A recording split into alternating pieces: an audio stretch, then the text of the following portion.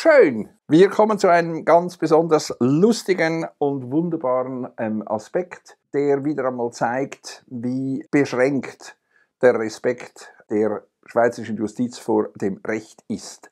Die Rechtsstaatlichkeit ist mir ein wesentliches Anliegen, wie Sie wissen, ähm, und das ist etwas, das hier wirklich mit Füßen getreten wird.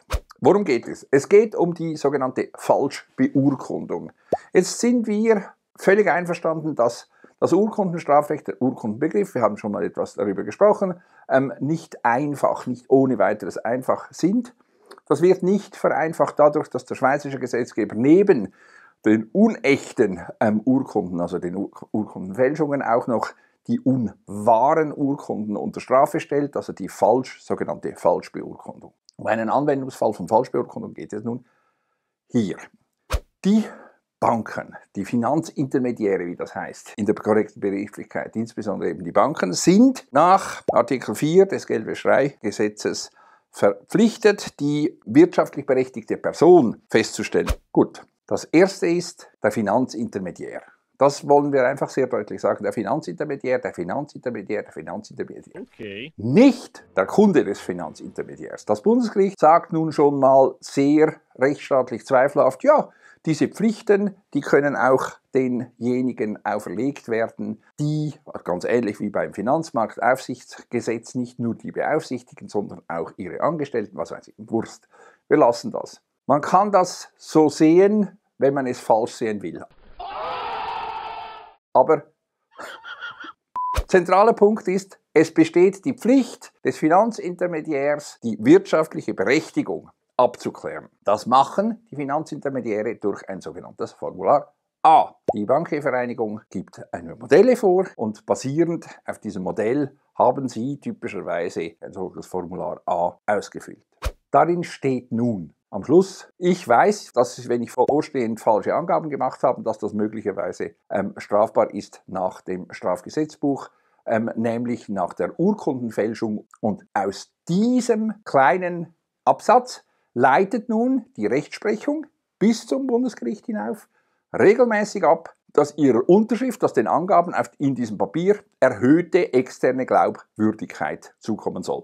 Sie wissen, eine Falschbeurkundung unterscheidet sich, eine strafbare Falschbeurkundung unterscheidet sich von einer einfachen schriftlichen Lüge, straflos, dadurch, dass für die Aussage, die getroffen wird, externe objektive Garantien der Wahrheit bestehen. Diese objektiven externen Garantien der Wahrheit sollen nun gemäß der Rechtsprechung darin bestehen, dass derjenige, der die Aussage trifft, sagt, ich weiß, ich muss die Wahrheit sagen. Das ist falsch. Das ist wirklich falsch. Die Rechtsprechung gibt ohne weiteres zu, dass normale, einfache schriftliche Erklärungen grundsätzlich keine erhöhte Glaubwürdigkeit haben. Wenn ich sage, ich heiße Mickey Mouse, dann wird es nicht erhöht glaubwürdig, wenn ich es schreibe. Die Tatsache ist, dass ich es schreibe, ist immer noch einfach eine Aussage. Dafür bestehen keine Garantien. Es besteht auch keine gesetzliche Pflicht.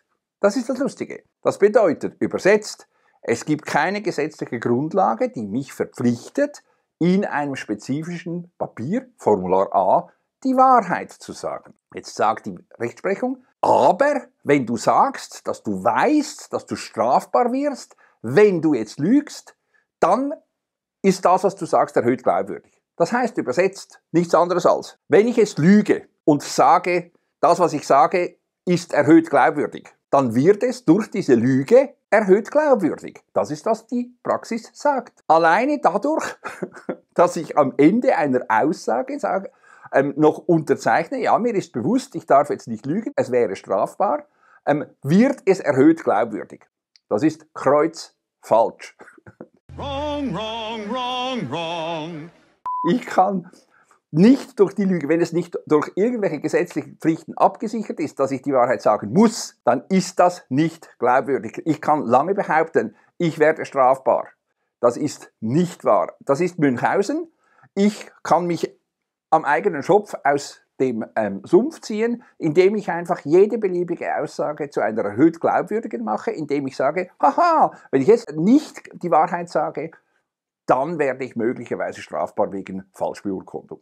Obwohl es nicht zutrifft, obwohl diese Aussage nicht zutrifft, wird die andere Aussage dadurch glaubwürdig. Wirklich, wirklich unglaublich respektlos.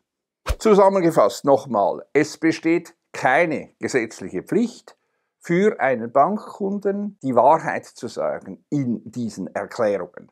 Die entsprechenden Pflichten nach Geldwäschereigesetz treffen den Finanzintermediär, nicht den Kunden des Finanzintermediärs. Punkt 1. Punkt 2. Es besteht auch keine vertragliche Pflicht, weil selbstverständlich könnte die Bank sagen, du verpflichtest dich jetzt und so weiter und so fort. Nur damit wird die Glaubwürdigkeit nicht erhöht. Damit werden vertragsrechtliche Folgen eingeleitet, falls ich nicht die Wahrheit gesagt hätte.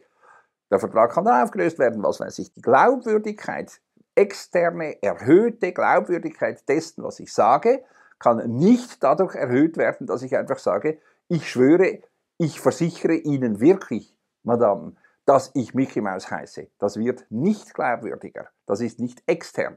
Und das heißt übersetzt, es ist einfach eine Aussage.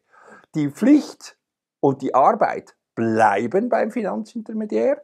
Entsprechend sagt ja auch Artikel ähm, 5 zum Beispiel, entstehen im Verlauf der Zeit Zweifel, so muss erneut überprüft, was weiß ich, weil es eben durchaus möglich ist. Es ist die Pflicht des Finanzintermediärs, nicht des Kunden oder der Kundin.